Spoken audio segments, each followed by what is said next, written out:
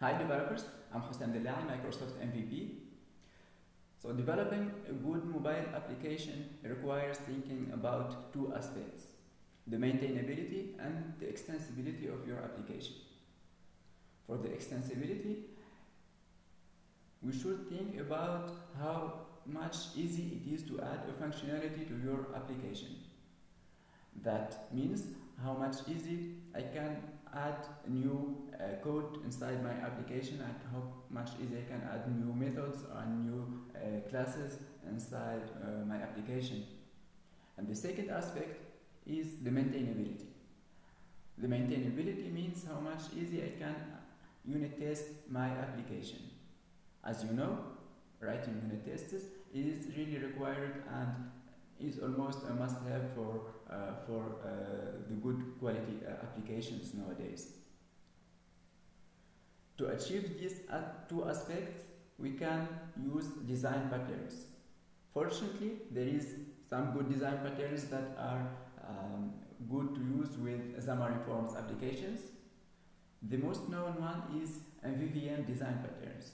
MVVM stands for Model View View Models. And the MVVM design pattern could solve the issues about maintainability and extendability by separating the user, the UI code from the business logic code. And by doing that, we'll have an application that uh, is easy to uh, maintain and easy to uh, extend. So in this video we learn how we can implement MVVM design pattern in our Xamarin Forms application. So I go here inside my uh, Visual Studio and here first thing to learn is that um, MVVM is a design pattern that um, organizes how your code is, orga is, um, uh, is organized in inside your uh, solution or inside your project. And with MVVM, as with uh, MVC architecture, we have three layers of code. The first one is the models, and the models is the folder or is um, the place where you put your, your models and your uh, entities. Then we'll have the view models. The view models will use these uh, models and will add some uh, business logic code to operate or to um, to use these uh, models to bind them to the user interface. The user interface will have a separate folder that's the views. So I hope that um, uh, the flow is um, um, is clear for you. So we'll have the models folder, then we'll have the view models, then we'll have the views.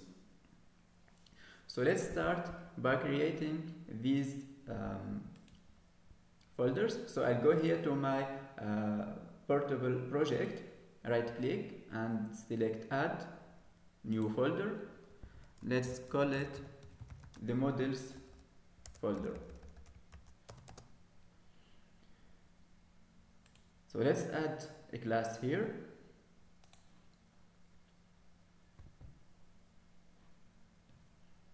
And let's call it employee. So let's imagine here I'm used, I want to implement uh, a directory for employees. Inside this directory I can uh, show all the list of my employees and I can then uh, add, delete or um, edit any uh, employee inside my uh, directory. So I'll go and call it employee.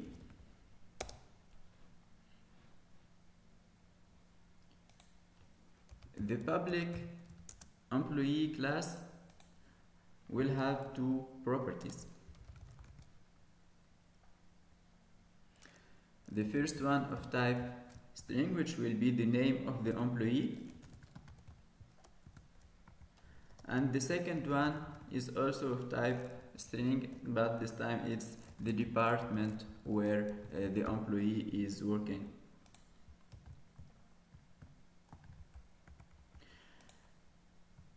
you notice here we use it uh, properties, not attributes or not uh, uh, fields. Why? Because it's required to use properties to bind this property in, um, in the views later.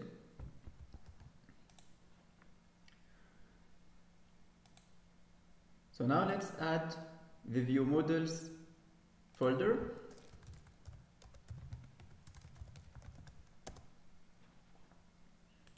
and I'll add the first uh, view model.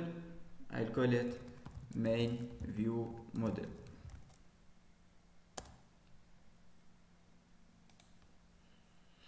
Again it's a public class.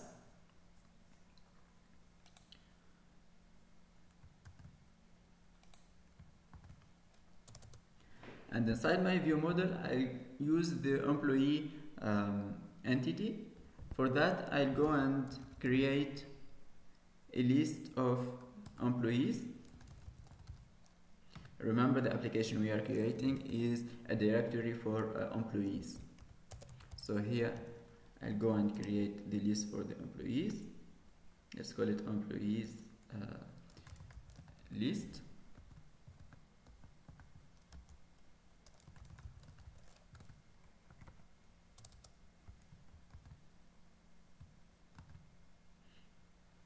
okay. So now um, this list of employees is empty. To add data to it I'll go and add a new folder.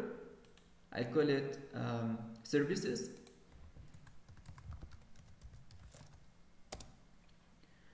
Inside this services folder I'll add a new class and call it data services or employees services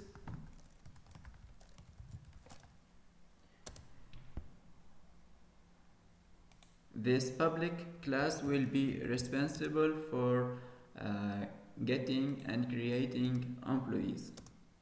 So it has a method that returns a list of employees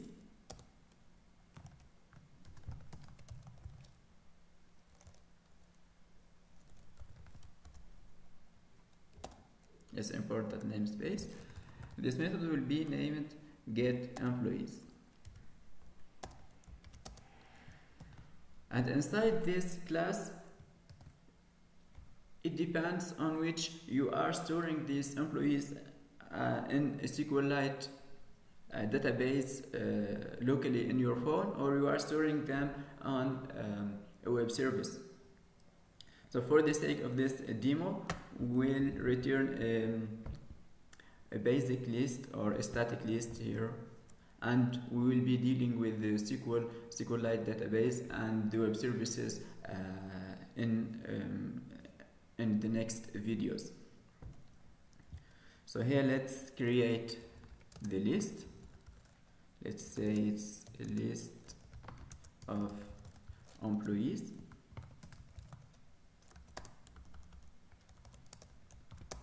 and inside that list I'll add some employees here. Each employee has the name and department.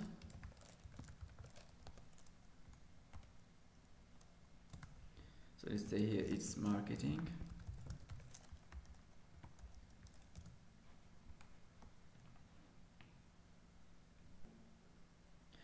So now that we have created that list, let's return it. Return list. So our employees services have a list and it will return that list by invoking the method get employees. We'll use that this method to feed this employees list inside my view model here and I'll do that inside my constructor. So I'll go and create a constructor. Uh, so you see here I have I use um, a shortcut or um, a snippet. So to generate the constructor I just type CTOR so you, you, you get this out of the box inside Visual Studio.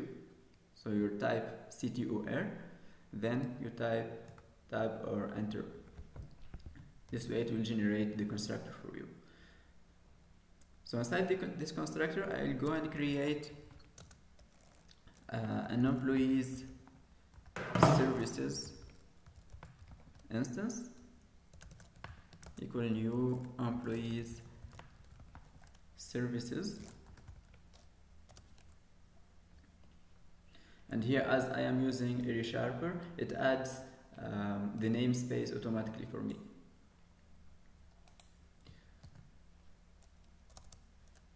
we'll use this employee services to feed the employees list.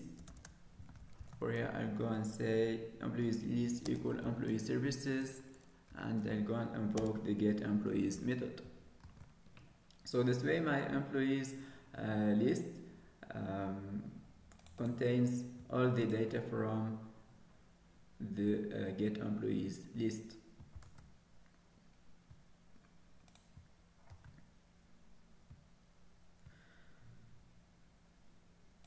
so now that we have implemented the uh, main view model there is some other thing that is important uh, to do which is to make the main view model inherits from iNotify property change it. This interface will enable me to refresh the interface the user interface and each time my employees list uh, changes its value. So it's an interface so we should go and implement it. Again as I am using ReSharper I can go and click alt enter or click inside um, this icon here and select implement I notify property change it. By selecting this option I get this um, dialog and here I'll type no?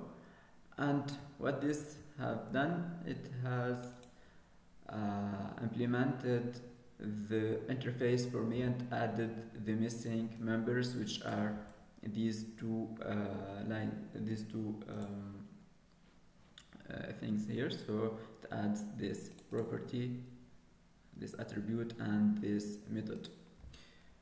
This method is the one we'll use to refresh our user interface to tell it that uh, the property we are binding it has changed its value. So go and change to the new value. We'll use that here inside the employees list. And to do that I'll give an I should go and give an implementation to the get and the set. To do that with ReSharper I go and uh, select employees list then click on this icon here and type to property with backing field. What ReSharper have done here it added a backing field called also employees list with the underscore and gave an implementation for my get and set using that um, that uh, private field. To this I will add a call to the on property change it. The method as we said here it will um, notify the user interface each time the employees list have changed its value. So changing the value could be done by invoking this set uh, method here. So in each time I change the value, give it a new value, I'll go and call the property change it to refresh the user interface.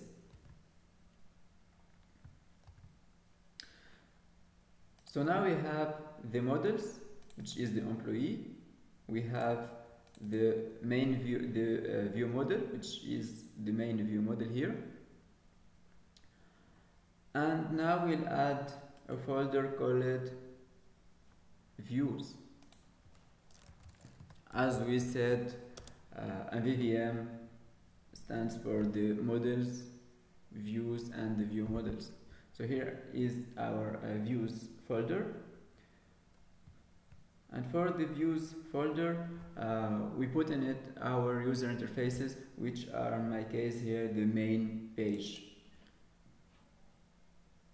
So I by default here uh, the main page is um, at the root of your uh, project.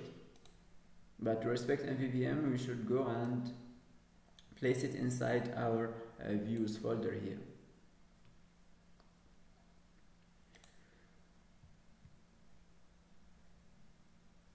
So now we'll go and bind this view to our view model. And the way to do that, actually there is two, uh, two options to do that. Either you go to the constructor of the main page and select use a binding context and give it a new main uh, view model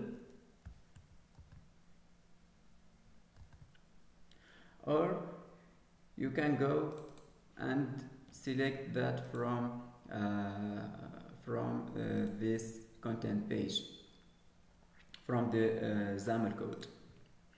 I'll go for the second option because with this option I'll get um, IntelliSense enabled when I uh, write my uh, code when I bind to uh, properties inside that view model. So I'll go and remove that from here. And instead I'll go and bind it here. So I'll go and um, write content page dot binding context and here I'll go and bind it to my main view model. To do that, first I need to um, add a reference to my add a namespace to the view models folder to the view models namespace actually. So my application is called Xamarin demo. So I'll go and select this one Xamarin demo app. Dot view models. And here you notice that ReSharper adds this uh, assembly reference automatically for me. So I get this uh, namespace from my main view model namespace here. So because here I enabled my application Xamarin Demo app and the namespace in which resides the main view model is the view models. So you just go and copy this one and use it in this uh, area here. So now we have created the view models. Now to bind um, to bind it and with this content page, I'll go and use that view models.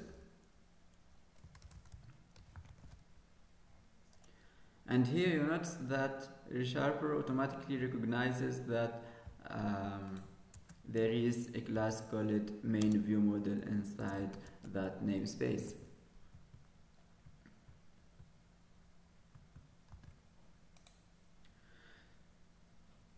So with these lines of code, now my user interface recognizes every attribute or every property inside my main view model.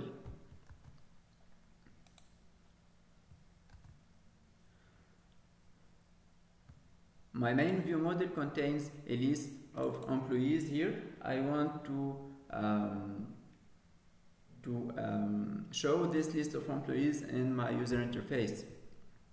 For that, I'll go and get rid of this um, default um, label here and I'll add instead a list of list view to show the employees. So as we saw in previous videos, inside the list views here I'll give it the items using the items source property and then I go and use binding and here you notice I get employees list inside uh, this context here so this is one of the advantages of using binding context inside your uh, XAML code because here it recognizes I'm using the main view model. Remember when we tried to add the binding context um, inside the code behind here. So if you done if you do that then you you won't get uh, IntelliSense enabled here. You won't get for example all the the properties inside the main view model. So this makes your life a little bit easier. So let's select that we want to bind that list view to the employees list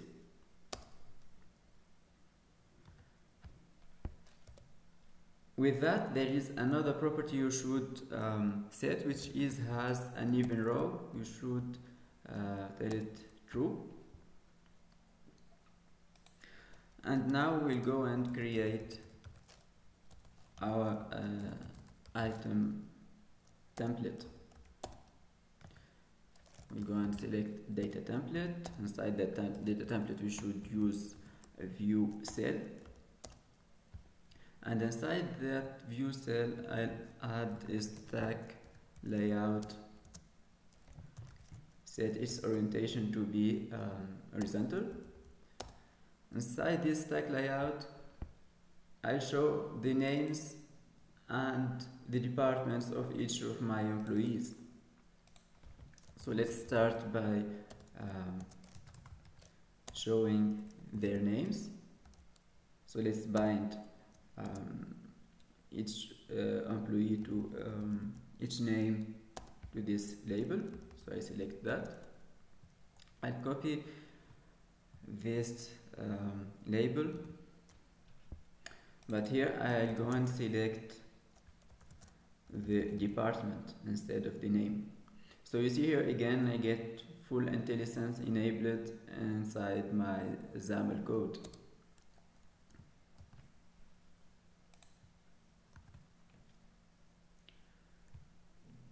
So this way I have um, binded my main view model to my view, to my user interface. And inside this list view, I have binded the employees list so that I can um, uh, show the name and department of each of my employees. So now let's run this application and see it in action. So now you could see that my applications get this list of the employees and show them um, in each uh, platform. That's all using the MVVM design pattern here where we have the models, the view models and the views uh, folders each one contains um, special um, classes to work with that, um, that part of the application. So I hope this was good for you and thank you.